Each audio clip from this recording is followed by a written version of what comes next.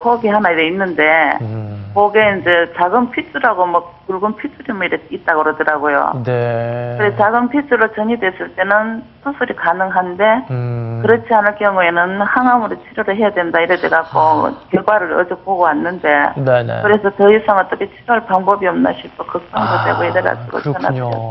네. 두분 교수님 좀 답변을 해주셔야겠는데요. 네, 지금 네. 간암으로 확진된 케이스인지 잘 모르겠네요. 우리가 이제 아까 말씀드린 간암의 고위험군에서 그런 어, 종괴가 생겼고 또 MRI에서 그런 위험스러운 종괴라고 아마 의견을 들은 거 봐서는 어, 간암 진단이 된 것 같아요. 근데 이제 혈관이 침범돼서 아마 그 치료가 좀 제한이 되는 것 같습니다만 요즘엔 혈관이 침범된 경우에 그 방사선색 저 치료를 함으로써 어, 치료를 성적을 높이는 그런 시도를 하고 있습니다. 네.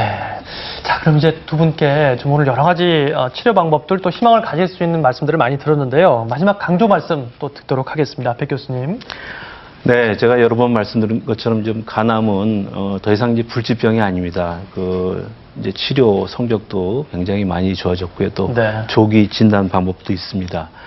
어, 과학적으로 검증되지 않은 그런 어, 민간 요법에 의존하다가 적절한 어, 치료를 놓친다면 그거는 본인한테도 아주 큰 손해가 되게 되겠죠. 그래서 네.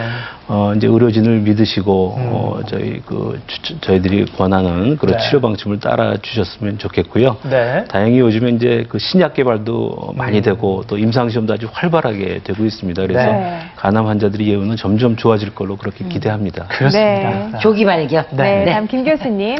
예, 간암은 조기 진단과 정확한 치료가 가장 중요한 치료를 결정하는 키라고 생각을 할 수 있겠습니다. 따라서 조기 발견에 힘을 써주시길 부탁드리고요.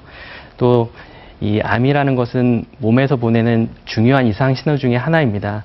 만약에 그동안 여러 가지 스트레스나 과음으로 몸을 혹사하셨다면 그런 생활 습관을 변화시키는 것이 시작점이라고 말씀을 드릴 수 있겠습니다. 네, 네. 그렇습니다. 간암 말기라도 희망은 있습니다. 꼭 용기 잃지 말고 잘 건강 회복하셨으면 좋겠네요. 네, 오늘 준비한 방송은 여기까지고요. 저희는 다음 방송 예고해 드립니다.